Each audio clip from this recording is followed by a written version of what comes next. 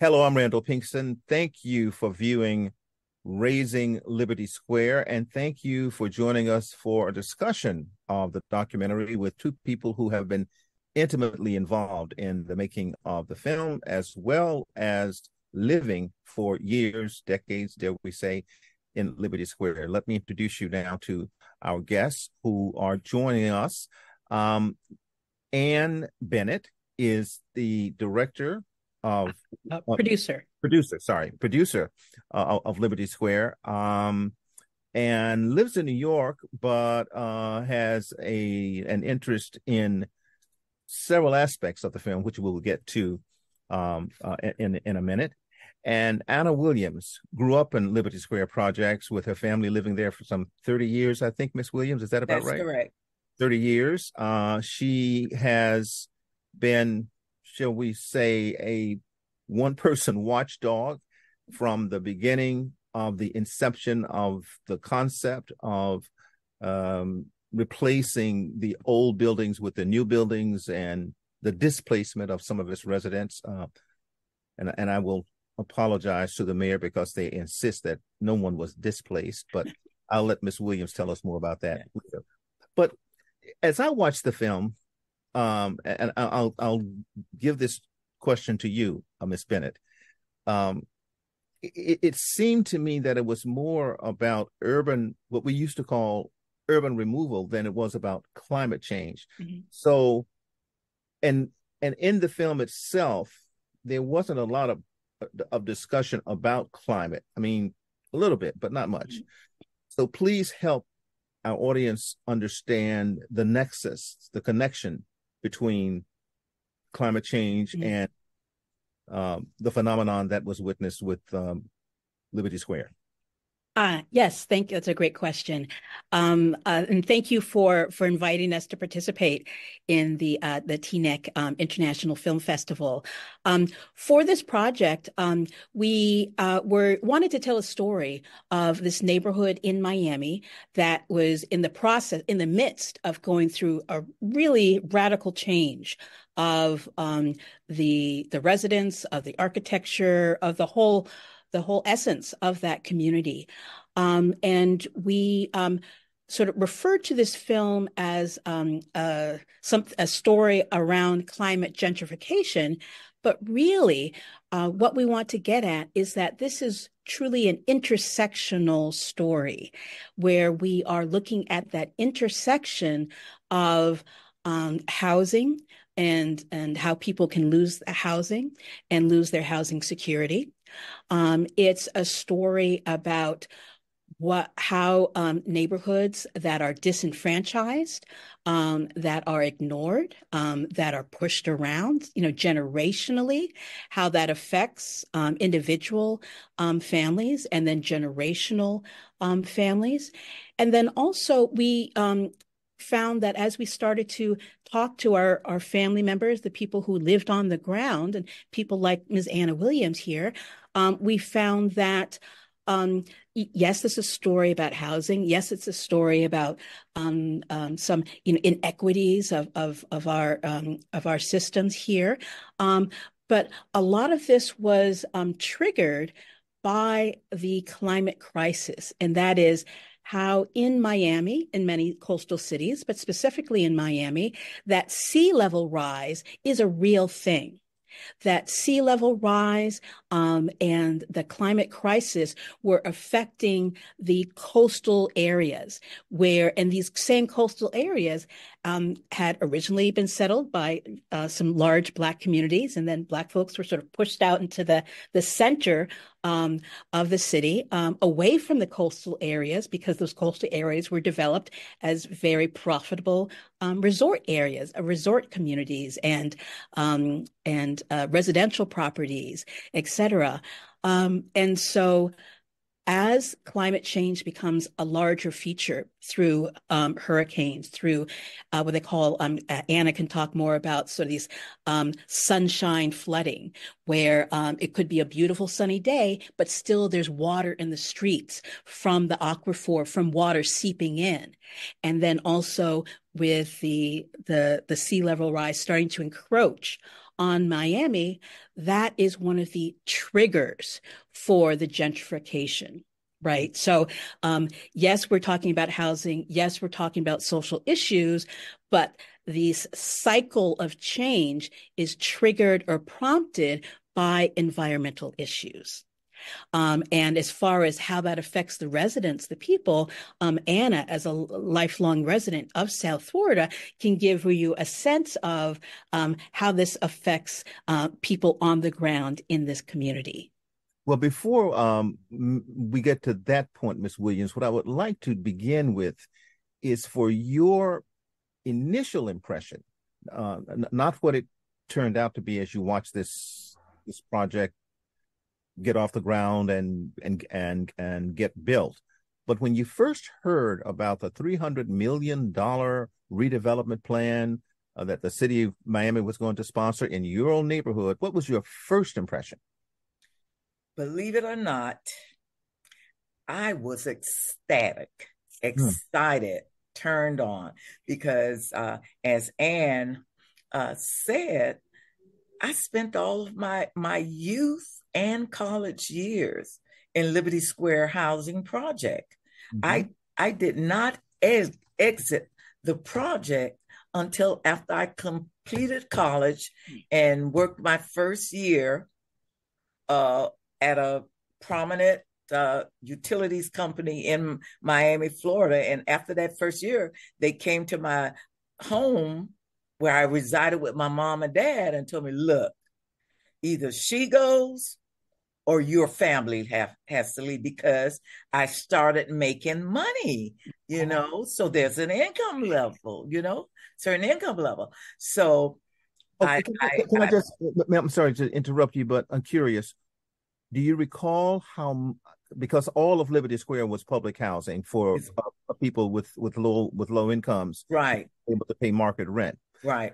Federally funded public funded, yes, exactly. Right? But mm-hmm. managed by the city by that point, by by the city uh-huh. or the uh-huh. county, right? The county. county. Mm-hmm. So how much how much was the rent uh, that your parents had to pay at that point at that time? It's a couple of hundred dollars a mm-hmm. month, and then the uh, electric, there was no water bill. Mm-hmm. Uh, the electric bill, all of that was subsidized. So it, it, I and I was fortunate enough where mom and dad were in the home. Mom didn't work. There were eight kids, mm. and I was the oldest of eight. And mom did not work until after the youngest got into junior high school. My mm. dad was a custodian at a local high school at night and in the daytime he was a handyman. He did his little odd jobs and whatever. And uh, uh, i was the first generation my parents both came from the bahamas and the british west indies. Dad was from the british west indies turks and caicos and mom was from a little tiny island in the bahamas so here they are. They they're in Miami and they met and they married and they raised their family. And from the old Overtown area, which urban removal, and when that started, they pushed us, pushed the family into Liberty Square. Okay. Okay. And that's how we got there. And when we got the news, it, it started out, um, Randall, when we grew up as uh, uh, children there, it was fantastic. Folks took care of their yards. The units were maintained by the county. The unit, Liberty Square had its own maintenance force hmm. provided by the county. They would come by if you had a screen, a broken door, bad, bad plumbing, or whatever. We didn't have to fool with any of that stuff. All we had to do is make a call to what we call the rent office, which is the community center, and you've been there. And that's where all we w- walked to the community center, paid our rent. Mom didn't have a bank account or anything. We paid, got a money order, Randall. You paid your rent there filed your complaint, and each year you would come and do your reevaluation for staying in the community. And it was perfect until the 60s, and then all hell broke loose. What happened then? 60, with the 60s, with the drugs and hmm. the gangs, and in the 80s, the riots, and the community was never the same. Hmm. Let me let me ask you something. In the '60s, uh, when the as you put it, the drugs and the gangs began, whatever happened to that infrastructure that had been so great with maintaining the um, the buildings and the community and the grounds. What what happened to that? So, what I believe, Randall, and I and and this is just uh, my opinion. The political environment of Miami Dade County changed tremendously. Tremendously, it was no longer uh, money came in, but money did not get to us in the community.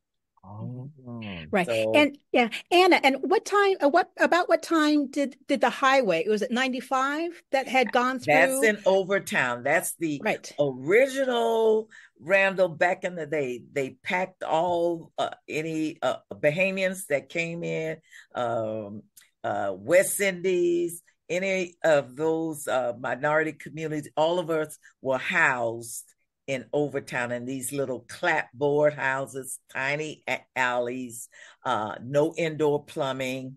So you came in, uh, my parents came in and they had an aunt that had a, a little house uh, on 14th Street. And that's where my mom stayed until she met my dad.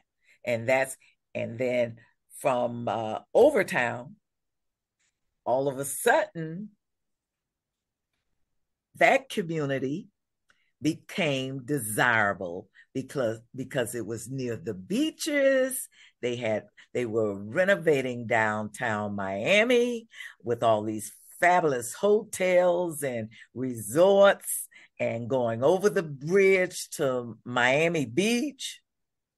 And uh, as uh, Ann indicated the they drove I-95 right through the middle of, of, of our community. So we had to like exit, I mean, right through the middle of the residential community where most of us resided. And, and. I'm sorry uh, to, to, inter- to interrupt you, Ms. Williams, but Ms. Bennett. So what you're saying is that that I-95 corridor, which by the way, I lived in Jacksonville for uh, a few years, and uh, that community was also uh, decimated by uh, the construction of the interstate, not just those two communities, but all of all over the country. That Almost yes. as if the the, the the the the people who were building the roads, and this is my speculation, I will do that. like they looked for places where people of color were residing to to put to build the roads, even if the community was just intact and very lovely and very nice. Um, and certainly that happened in Jacksonville, and obviously it happened in, in Miami as well. So, but Ms. Bennett, you see that as one of the precursors to the, the real estate displacement um, that that we witness in this in this documentary. Oh most definitely. And and as anna mentioned when she grew up when she was young um there it was you know the they had that these beautiful bungalows that had been built mm-hmm. in the 30s um it was well maintained. But once um uh, I mean, there there are many factors that were going on, um, but um, with the um, with the, the construction um, of the the highway, um, uh, that black neighborhood, as Anna mentioned, was was literally just just razed to the ground, um, and so black folks were forced inland, um, and the closest inland um, was um, community for them to go to was Liberty Square, mm-hmm. and um, and in addition to that original Liberty Square um, housing development that had been built in the 30s, there were new developments as well that weren't these beautiful little bungalows, but were you know less well constructed and you know more you know more concentrated.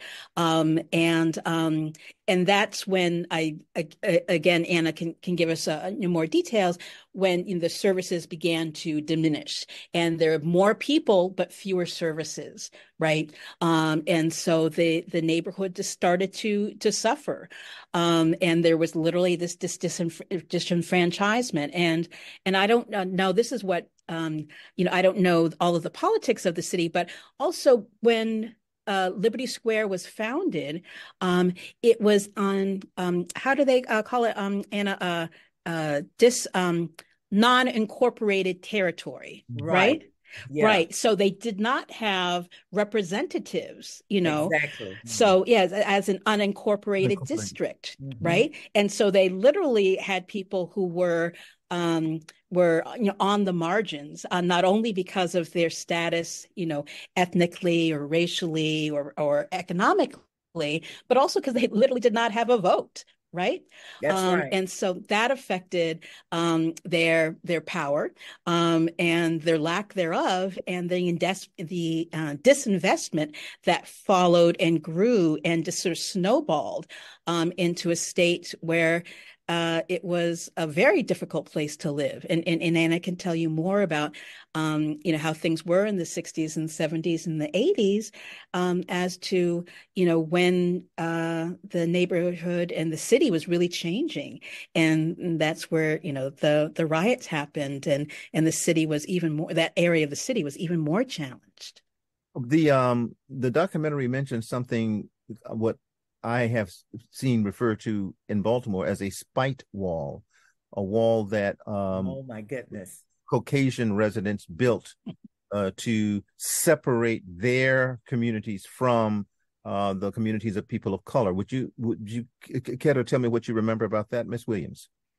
Randall, you can visit Liberty Square Housing Project. It's a it's not a, a huge community. There were just 700 units built there. Remnants of that wall is still there today.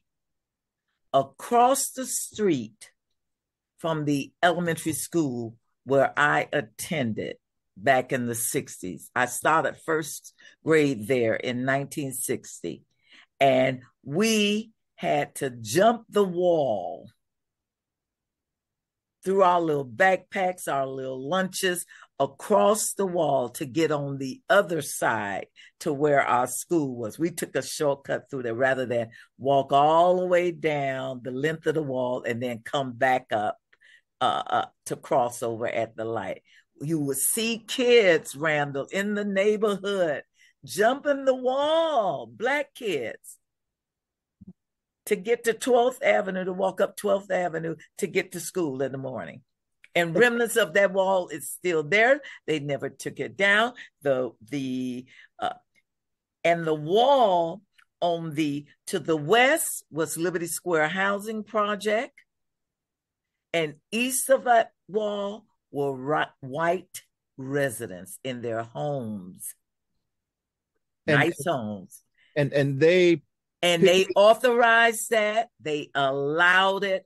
The wall was actually higher when we were growing up. Hmm. After, uh, let's say around, and because I was in high school in the 70s, uh, 80s, the riots, after the riot, they sort of like carved the wall down, down, I say downsize the wall, and they downsize the wall, but it's still there. Hmm. And well, right, it's unbelievable in Miami. Yeah, and and especially yeah, mm-hmm. it's um you know thank you Anna that's uh-huh. that's so true and I'll, I, I mean I'm I I'm I uh um my family's from from Baltimore but I, I grew up in Boston um and um, I didn't know my Miami really much at, at, at all. Um, but I always thought of it as this international city, this resort city. Um, but Miami, Florida is in the South. You know, it is ruled by, at that time, it was ruled by Jim Crow racial segregation. Exactly. And mm-hmm. that was the law of the land. It wasn't just the practice, that was the law of the land where the city was segregated by race. So uh, I mentioned the spite wall that I first learned about a few years ago doing a documentary for Morgan State University. Mm-hmm. Morgan State's current campus was um, purchased mm, early part of the 20th century by the Methodist Church, and the first presidents were, were, were Caucasian. So they were able to purchase the land but the surrounding neighbors didn't know that the school they were going to put there was for Negroes. and when they learned it, um, there was a hue and cry. There were efforts to pass laws to, to, to move the school, and and eventually they built a wall known as the spite wall. And I'm told that in the 30s, I think it was, maybe the 20s, Germany, Germans, Nazi Germans came over to the US to study segregation in Baltimore to figure out how they were going to impose racial ethnic restrictions against Jews in Germany. That was I, I mm-hmm. never dreamed that the Germans would have learned something so heinous from America, but they did. And we know the, the rest of that's a whole other story. Uh, but let me get back uh, to so now, uh, Miss Williams, you start out being very enthusiastic about this $300 million proposal. At what point, how many years into the, the movement towards uh, uh, the, the, the redevelopment did you begin to become suspicious about uh, motives? Let's say in in the beginning, those famous words in the Bible. In the beginning, in the happy, happy, joy, joy. Uh, after I uh, finished college, retired, and uh, decided to come back, give back to my community. I volunteered at Holmes Elementary School.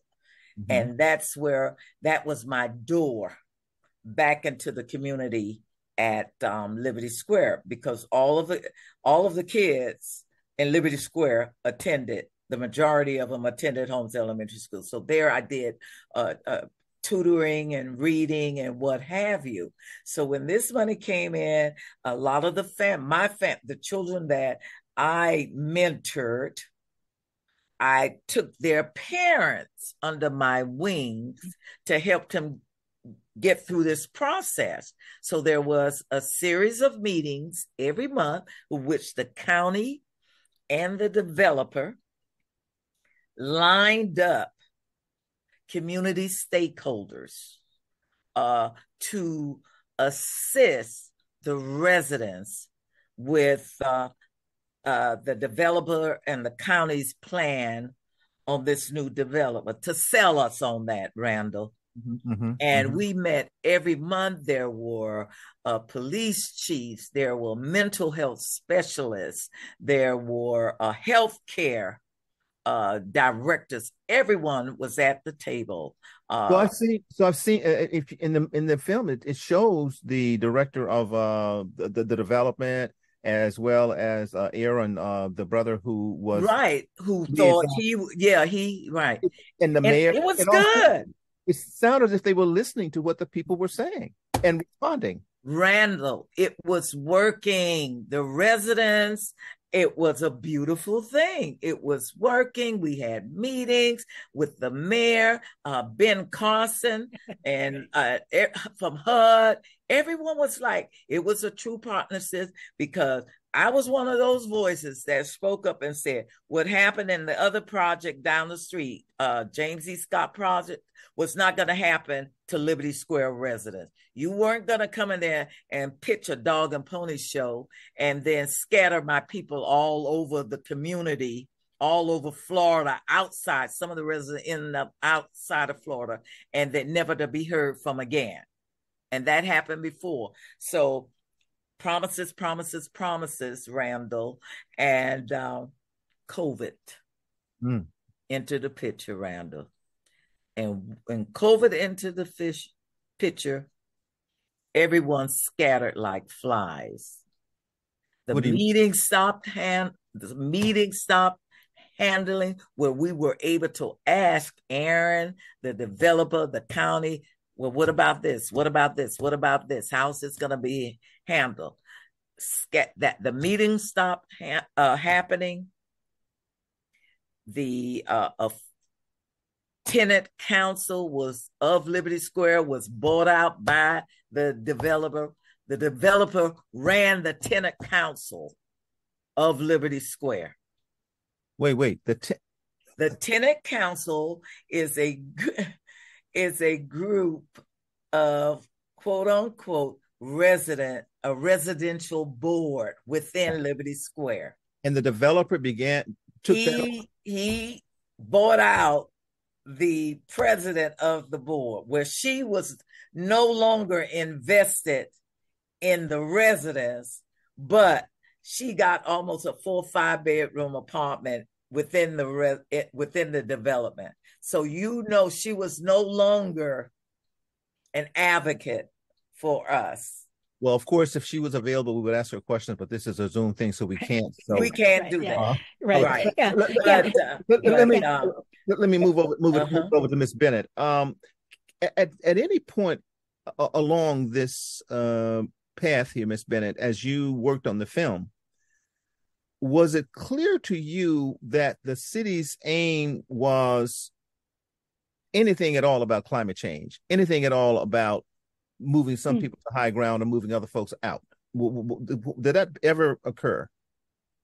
Um, hmm, that's a good question, uh, Randall. Um, I would say that as the as our story progressed, as the filming continued, one thing that we noticed was that um, more and more people would um, who lived uh, both within the Liberty Square development itself and Liberty City, which was the community that grew around Liberty Square, the development, that more and more people were being pressured um, to sell um, their property to Bingo. sell their land. Yeah. And that there were more and more developers who were trying to buy up um, the land in that neighborhood. And it was to the point where it was, you know, sort of a classic example of sort of a predatory um, development where people would get I won't say threatening, but people would get um, very insistent calls and knocks on the door saying, Don't you want to sell? Don't you want to sell? Don't you want to sell? Um, because of buying up all the lots around the area um, to for future development. So, so this, so this, so the Liberty Square development resulted in people of color who had homes outside Liberty Square also being um, persuaded, shall we say? Exactly. Enticed. Right. Not right. not not only um, Randall, not only Liberty City, but there there were other neighboring uh, black communities, uh, Brownsville and uh, over there. They had a fight going on, uh, and there were other surrounding black neighborhoods that the same thing was happening. But in answer to your question, Randall, at the same time, they were offering these little box houses. These folks were getting hundreds of thousand dollars offer for these little box houses in the hood. And but at the same time, on Miami Beach, every time the high tides came in, Miami Beach was flooded. The oceans came up. The sea came up to meet the store owners hmm. on the major thoroughfare of Miami Beach. There downtown, was... downtown Miami, mm-hmm. Brickell Avenue, where they pushed us out and built these multi-story buildings at the same time now. These streets were flooded. You couldn't drive through drive on Brickell Avenue when it just a simple rain. It wasn't even a hurricane, Randall.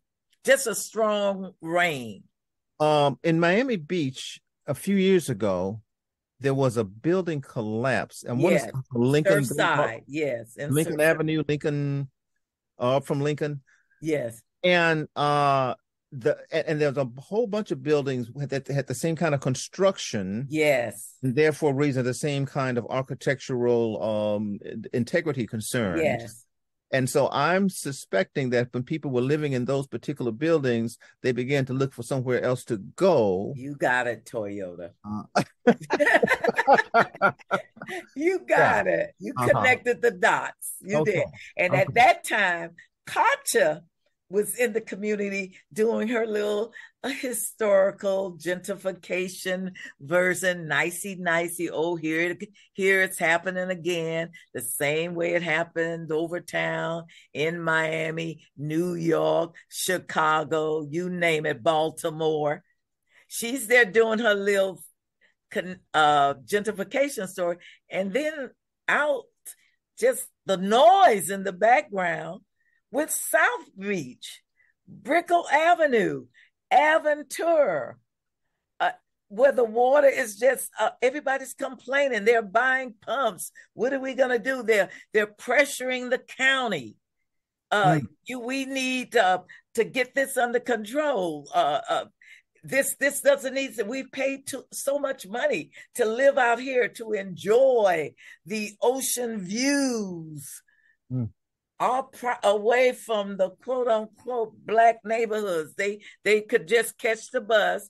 It used to be a time Randall where you catch the bus and worked over there uh, in Surfside and those places, um, Brickell and all of that. But at night, you gotta you go back. As a black person, you better be off that beach by nightfall. I have to. Uh, uh, uh, sorry to, to interrupt you again, Miss Williams. Fascinating backstory to all of this, but uh, here in New Jersey, uh, you you may know that there was this thing called Storm Sandy several years ago. It wasn't even a hurricane. Yes, I was still working as a as a journalist then, and I was uh, covering a location in Lower Manhattan near a ferry uh, landing, which was not too far from Canal Street. Now, for mm-hmm. those who know um, New York City, Canal Street in, is in Lower Manhattan. It's I don't know, maybe a mm, half mile up from the very tip, very bottom of Manhattan and um, you know Canal Street. You you drive across Canal Street uh, to uh, the east side, uh, from the west to the east, and we were on the west side. That night, Storm Sandy, talking about rising sea levels. Sea levels. And now we're not near the we, we're we're near the Hudson River, you know, which obviously is near the New York Bay, which is near the sea. So the water was pushing up. Canal Street became a canal again.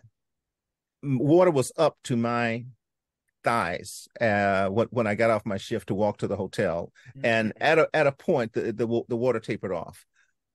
And I, and I was like, pause. I said, what? How? Where did this come from? And everybody said it came from where it used to come from before. That's why the street's called Canal. Used to be a canal. and then we went a few blocks south to what we call the entry of the Brooklyn Battery Tunnel, which mm-hmm. is an underground tunnel connecting Manhattan to Brooklyn, Brooklyn Battery Tunnel water was up halfway into the tunnel.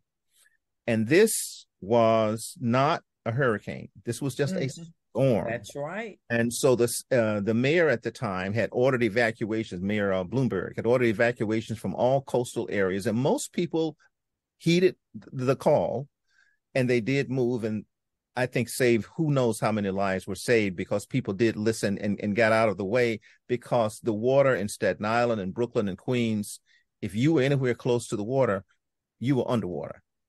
Um, so now the climate change. I mean, that's what I'm trying to work my way to in a in a very spiritual kind of way. Um, so the question I was asking you was whether the, the, the town officials were looking more at this as a way of just getting some good real estate or getting some high ground. So obviously there was it was both. It was both. That's what it evolved into. That's that's where the light went on. In yeah. the middle of this uh, transitioning process, climate, rising sea level issue came into the picture. I mean, just clear as day, Randall. It because here we are, we're in the middle, and all of a sudden, these people are pushing in, coming in from the east, from the waterways, and they're looking for you know a decent place to stay. And most of them are what millenniums. They don't need uh, uh, uh, uh, acreage or whatever in the suburbs or whatever. All they want they're building these multi-story apartments. And all these kids want to do just give me a room a loft or whatever. I'm good. Here's the bus line right there. They built a 2.7 million dollar uh, veterinarian uh, uh, uh, right on the in the heart of Liberty Square, Randall. You go there today, last oh. year. they opened a, a, a veterinary to accommodate. Okay, Miss Miss Williams, I'm sorry. Uh, I we, we've done it again. We've run out of time, and I've just gotten a signal from my producer who's saying this is a hard break, which means if I don't shut up, we'll be So let me, let me just say thank you, um, Ann Bennett, Miss Miss Ann Bennett, Miss Anna Williams for participating uh, in the Teaneck International Film Festival. Razing Liberty Square will have its broadcast premiere on PBS on January 29th, next Monday at 10 p.m. on Channel 13 here in New York. And wherever you are, check your local listings for the PBS uh, station near you for Razing Liberty Square. Thank you so very much. I'm Randall Pinkston. Have a good day. Thank you. Thank you.